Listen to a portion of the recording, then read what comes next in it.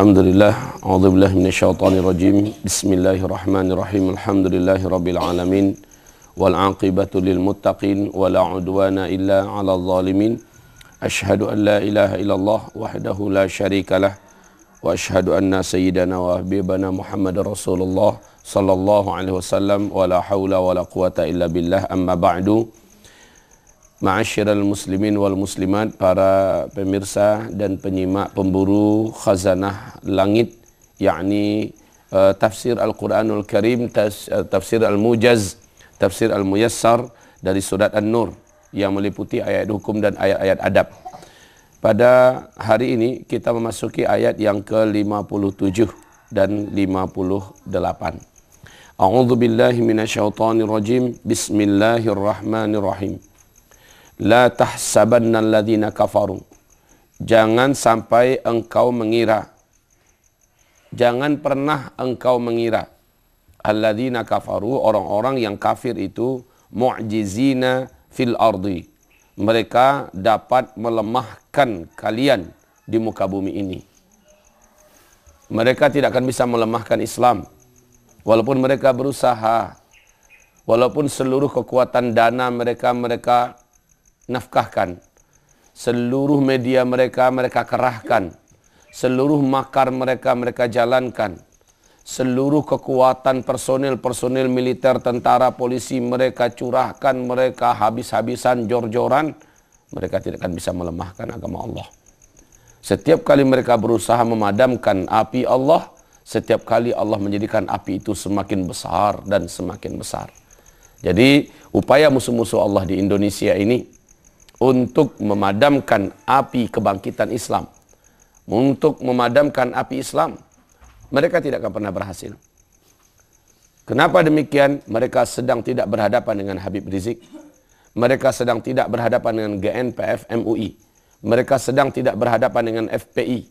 Mereka sedang tidak berhadapan dengan Muhammadiyah.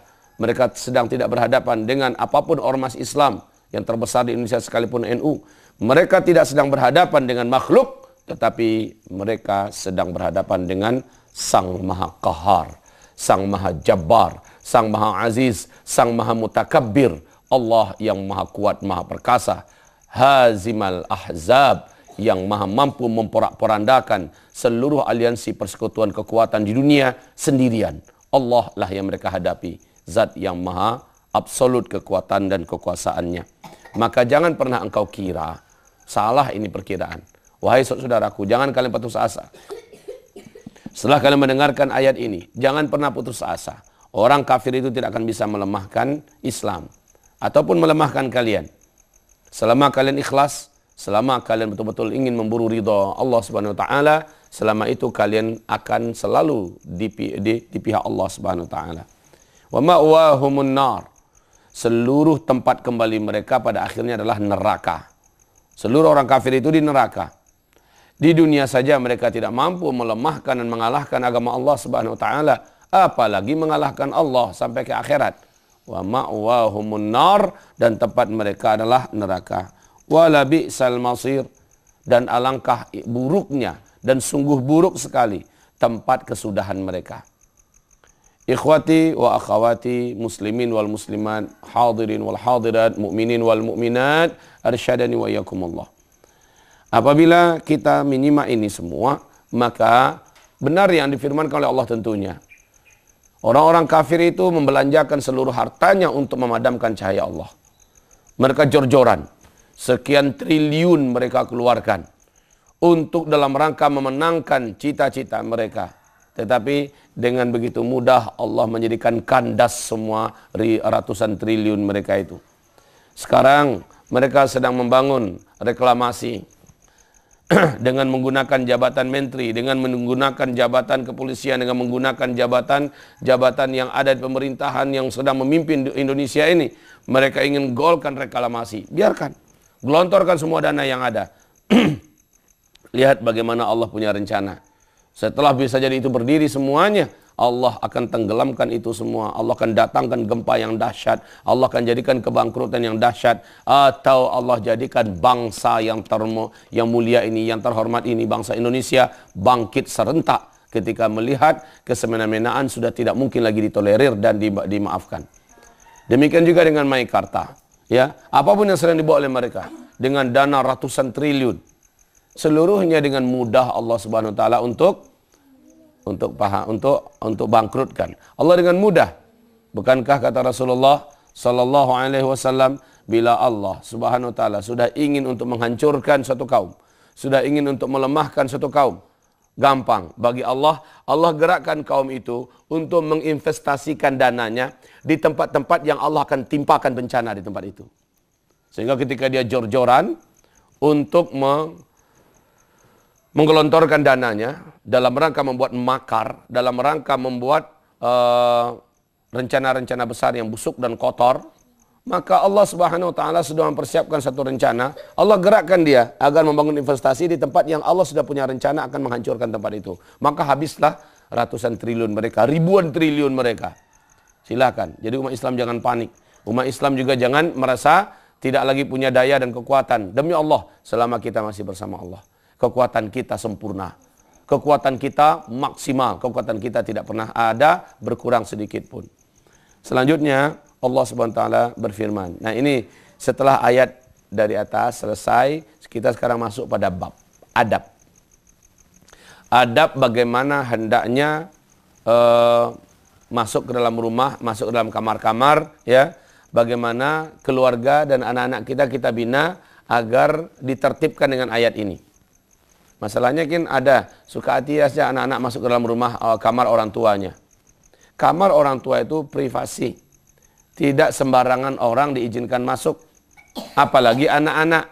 Pernah suatu ketika Umar Ibn Khattab radhiyallahu anhu sedang istirahat di dalam kamar rumahnya. Sedang istirahat. Sementara anak-anak dari pihak keluarganya sedang bermain-main.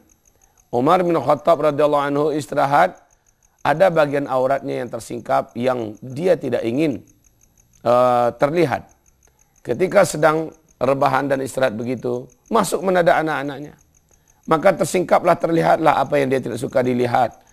Maka Umar bin Khattab menyuruh mereka keluar dan mereka Umar berkata kalaulah Allah turunkan ayat yang mengatur adab-adab anak-anak masuk ke dalam milik orang tuanya. Allahu Akbar. Salah satu ayat yang Allah turunkan adalah ayat ini. Mari kita baca ayat yang ke-58. ya ayyuhalladzina amanu. Hai orang-orang yang telah beriman. Liyasta'dzinkumul ladzina malakat aimanukum. Hendaklah minta izin kepada kamu, budak-budak kamu.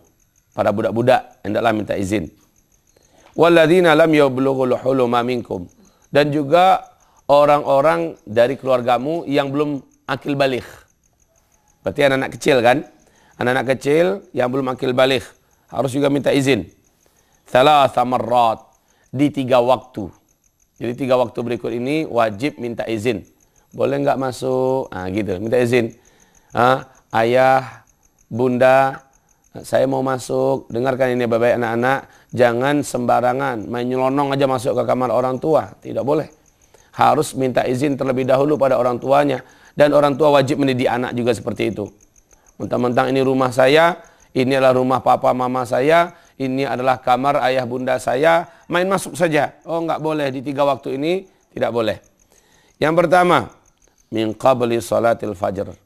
Sebelum salat subuh sebelum sholat subuh nggak boleh masuk ke dalam kamar orang tua nggak boleh masuk ke dalam kamar orang tua yang kedua ini juga ada bertamu juga termasuk ini ya ada bertamu jangan sebelum subuh datang ke rumah orang bertamu walaupun ini rumah ayah saya kalau Nabi Muhammad SAW bila sudah kemalaman pulangnya pokoknya dari safar nih kemalaman pulangnya beliau nggak masuk ke rumah tapi bila pergi ke masjid tidur di masjid sampai besok selesai subuh ya dan selesai matahari terbit baru masuk ke rumah. Ini adabnya. Maka wahai para uh, umat Nabi Muhammad, para tetamu-tetamu yang berdatangan, apalagi keluarga, masuk kamar, masuk rumah, tiga waktu ini bukan waktu bertamu yang baik. Bahkan dilarang untuk masuk ke dalam kamar di tiga waktu ini walaupun keluarga sendiri, anak-anak sendiri yang belum akil balik. Lah kalau anak yang belum akil balik aja belum boleh, mereka kan istilahnya belum ngerti masalah urusan-urusan aurat dan seks dan segala macamnya kan. Itu saja udah dilarang. Apalagi anak-anak yang sudah akil balik. anak-anak yang sudah matang. Dan anak sekarang ini sangat cepat matangnya karena pengaruh daripada televisi dan media massa. Kita lanjut. Wahina tada'una thiyabakum minadh-dhahirah. Selepas salat zuhur. Ini bukan waktu yang dibenarkan anak-anak dibolehkan masuk kamar lepas salat zuhur. Lepas salat zuhur itu adalah waktu di mana orang tua istirahat. Di mana orang tua istirahat. Mereka memang melepaskan pakaiannya. Hina tada'una thiyabakum minadh-dhahirah. Ketika kamu melepaskan thiab, pakaian kamu minadh-dhahirah di waktu zuhur, di waktu zuhur. Waktu zuhur itu orang waktu istirahat. Zuhur asar itu idealnya adalah istirahat. Jadi aktivitas hidup itu adalah sepertiga malam terakhir sampai zuhur. Nanti menjelang zuhur sampai zuhur sampai asar itu sebenarnya waktu ideal itu adalah waktu untuk istirahat. Kemudian setelah itu setelah asar sampai jam-jam sepuluhan maka ini adalah waktu untuk aktivitas kembali. Idealnya itu seperti itu. Nah di waktu ini tidak boleh untuk bertamu atau anak-anak nggak boleh diizinkan nggak boleh dibiarkan masuk ke dalam dalam kamar kecuali darurat yang memang orang atau orang tua yang manggil, nak sini kamu, ya, di waktu-waktu itu. Tapi secara umum dilarang. Ini adalah waktu aurat. Makanya salah satu aurat di waktu tiga waktu aurat. Maksudnya waktu tiga waktu aurat itu biasanya terbuka. Terus selanjutnya, uh, wa min ba'di salatil isya selepas salat isya. Selepas salat isya itu adalah waktu aurat. Ini bukan waktu yang bertamu lagi. Waktu bertamu dah sudah. Memang Nabi Muhammad sebelum subuh itu beliau tidur sebentar. Lalu-lalu kuciang kalau kata orang Padang. Lalu-lalu kuciang. Tidur-tidur ayam. ya Menjelang uh, orang azan subuh. Beliau sudah tahajud tadi semalaman. Sudah berdoa. Sudah baca Quran. Sekarang beliau rebahan. 15 menit, 20 menit. ya Sebelum subuh masuk. Itu baru benar. Nah waktu itu jangan diganggu orang tua kita. Jangan didatangi sebagaimana pada waktu itu juga biasanya adalah waktu aurat masih tersingkap, pakaian masih dilepas, paling-paling hanya pakai celana selutut, paling-paling hanya pakai baju kaos dalam, mungkin saja juga tidak pakai baju. Ya, lalu kita masuk. Ya, ini salah satu auratilakum. Di luar tiga waktu ini nggak apa-apa. Hakim, Allah Maha bijaksana. Apa hikmahnya? Allah itu Maha bijaksana. Kenapa ini disyariatkan? Kenapa ini dijadikan adab? Allah itu Maha bijaksana. Dengan kebijaksanaan Allah, Allah Maha tahu agar anak-anak tidak terlalu cepat matang sebelum waktunya. Kalau kalau sebentar ngeliat aurat orang, sementara dia normal, tentu akan cepat matang sebelum waktunya. Jadi haid sebelum waktunya, sudah junub dulu sebelum waktunya. Dan akhirnya dia akan mencari penyaluran-penyaluran yang salah. Ini adalah kemahabijaksanaan Allah. Sehingga anak-anak itu kalau bisa, haidnya itu jauh lebih dini, jauh lebih apa? Lebih tertunda haidnya di usia 13 tahun, 14 tahun, 15 tahun ini baru bagus. Ini anak sekarang umur 9 tahun sudah haid. Serem dah ini. Ya, anak umur 11 tahun baru sudah sudah junub, sudah mimpi basah. Menandakan apa? Matang sebelum waktunya. Karena mereka melihat yang tidak pantas untuk mereka lihat. Ya, ma'adzan Allah. Ibarat Allah yang kami muliakan, semoga tuntunan langit ini uh, sangat membina kita, sangat menertibkan hidup kita. Mari kalau ada yang mau bertanya, silakan diajukan pertanyaannya. Ya, silakan. Maksudnya? Ya, yang jelas tiga waktu itu dilarang. Apakah dia sudah jadi nenek-nenek orang tua kita itu dan tinggalnya sendirian? Ya nggak apa-apa. Tetap saja dilarang waktu itu. Masalahnya bukan masalah aurat saja. Itu adalah waktu yang dilarang untuk kita bertamu ke dalam rumah bilik orang tua kita atau ke rumah orang tua kita. Kecuali satu, orang tua kita minta datang. Datanglah nak atau masuklah gitu kan. Yang kedua kita minta izin dulu dan diizinkan. Berarti kan orang tua sempat sempat terlebih dahulu bersiap-siap, ya kan? Yang kadang-kadang walaupun dia sudah tua, pakaiannya mungkin centang perenang, rambutnya mungkin masih awal-awutan, atau mungkin kamarnya berantakan, dia segan di, di, dimasuki dalam keadaan masih seperti itu. Jadi dia perlu berbenah-benah dulu. Ya, begitu. Silakan ada pertanyaan yang lain. Kalau tidak ada, maka kita sudah sampai di sini. InsyaAllah kita lanjutkan di waktu berikutnya. Astaghfirullah, astaghfirullah, astaghfirullah. Subhanakallahumma wa bihamdika. Ashhadu an la ilaha illa anta. Astaghfiruka wa atubu ilaik. Wassalamualaikum warahmatullahi wabarakatuh.